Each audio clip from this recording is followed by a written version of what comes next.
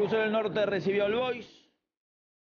Fabricio Pedroso ponía el partido 1 a 0 a los dos minutos. Va a aparecer el hombre del momento en el Boys, el tanque Lesman, que venía de marcar tres goles en el clásico ante de Chicago, para poner las cosas 1 a 1.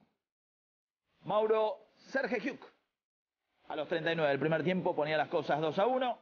Otra vez Pedroso y todavía en el primer tiempo para poner las cosas 3 a 1 entre las piernas de Gastón Loza. La definición del jugador surgió en las inferiores de San Lorenzo. Ya en el segundo tiempo, a los 21 de la segunda mitad, va a descontar el Rooney del ascenso argentino. Lesman no sería suficiente triunfo para Crucero del Norte. Así las posiciones